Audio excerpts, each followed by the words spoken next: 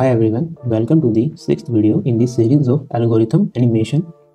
And if you have not checked my video till now, you can check my playlist by clicking on the I button in the top right corner. I am Shreyaans Jain.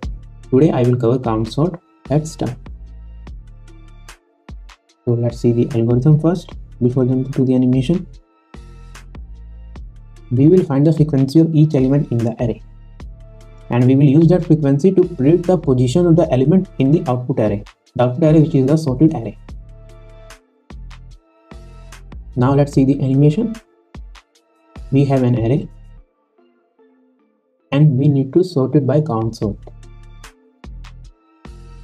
So as we discussed we will first count the frequency of each element and store it in the array. So we will traverse the array so the first element is 6 so we will increment at the 6th index in the frequency array. And we will keep doing it until the end of the array.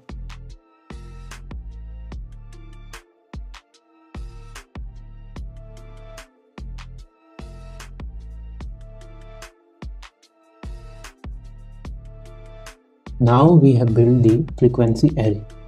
So to predict the position we will build the position array and that position array will be equals to frequency array in starting. But to calculate the exact position we need to find the last location of the element.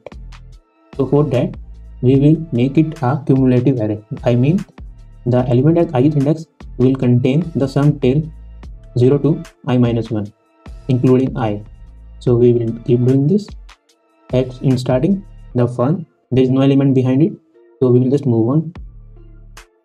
For 2 there was a 1 so we included it so it becomes 3 now the next element which was 1 now we included 3 so that becomes 4 and we will keep doing this.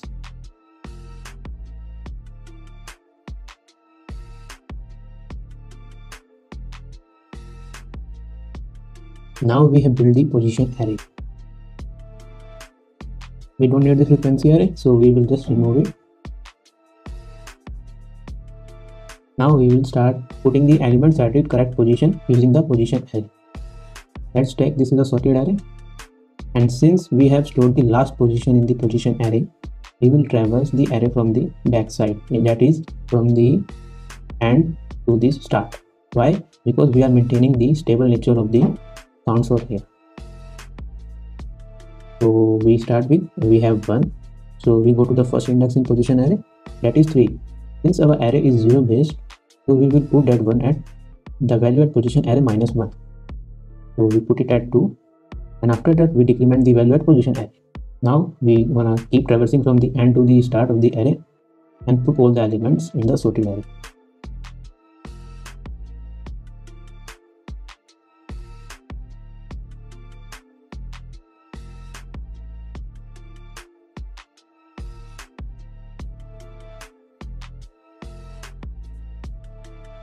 We have put all the elements in the sorted array and now our whole array is sorted. This was the count sort algorithm. Thanks for watching. Don't forget to hit like and subscribe to view more content like this.